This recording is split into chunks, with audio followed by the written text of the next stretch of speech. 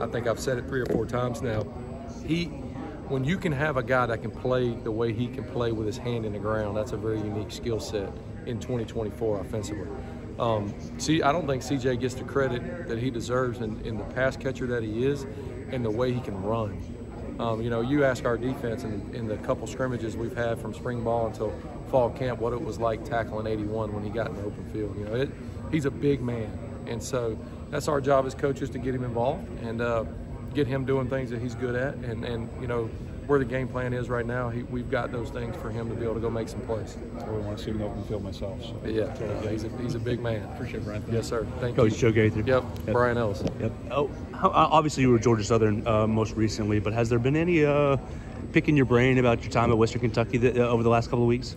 We, we're going to do whatever it takes to win the football game. And uh, if that, you know, that's why you're hired. You're, you're hired to, to help in any way that you can. And if, if there was a way that I could help, I was for sure going to do that for us. What's been the mindset as far as the staff goes? Obviously, there's been a lot of build up for the last seven months. Now it's first game. What's been the mindset inside the staff room as far as it's our first game being in charge of Alabama?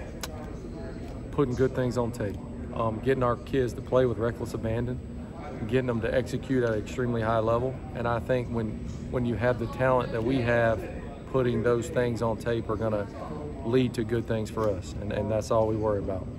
Coach Saban on Saturday during ESPN Game Day said that the culture at Alabama is still the same as when he left. What are some of the things that you and the staff uh, did to ensure that that culture continued?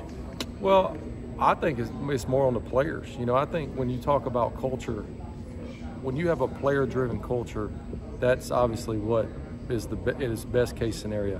And I think you know you look at Coach DeBoer and where he's been in the last couple months. I think it takes a lot of self-confidence for him to come in here and not want to drastically change and do it his way. You know, it's a unique situation when you're walking into a place after so much success of how do I want to put my stamp on it? How do I want to make sure that I'm being me? But why do I need to change a bunch of things that's been really, really good for the last 17 years?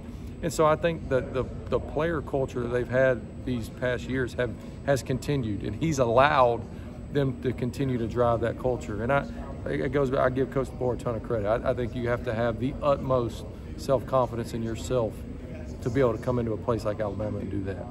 I think a lot of the Alabama fans are already familiar with C.J. Dippre and Robbie Ouzts. What will Alabama fans learn about Josh Cuevas this year?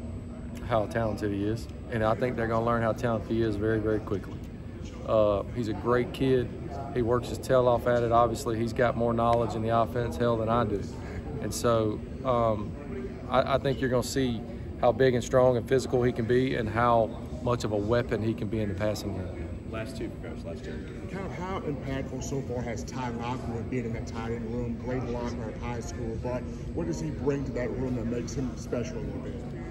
Uh, well, Ty's a big kid. He's talented. Um, you know, Ty's probably got the best hands in our room as far as being able to, to pluck the ball out of the air and catch the ball with his hands. Um, you know, we're, we've got to continue to grow, get stronger. You know, when you're, like I said before, the tight end position is a developmental position. And so when you're when you're a young player competing, when you're 18, 19 years old and you're competing in your own room with 21, 22 year olds that's been in a college football program for for four years, it, that can be tough for those kids. And so he continually to grow, continue to get stronger. He's a great kid, um, and he's a weapon in the passing game as well with, with how well he can catch the football.